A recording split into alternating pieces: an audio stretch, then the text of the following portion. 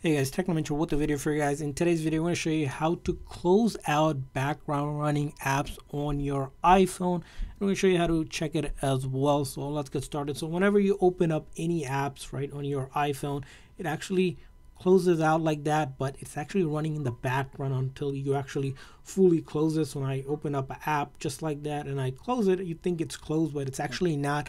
It's in the background process. Sometimes it could be running, taking up, draining up your battery or possibly even slowing down your performance. So in order to close it out, all you do is swipe your finger upwards just like that.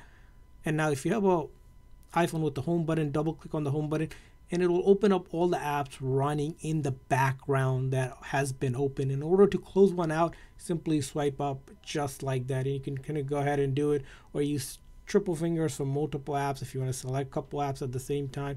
And you want to just go ahead and close them out as just like that and simple as that and they will all just close out. And after you close them out as you see here we can just keep on doing it and we swipe it up and there's no more open or running apps on our background on our iPhone.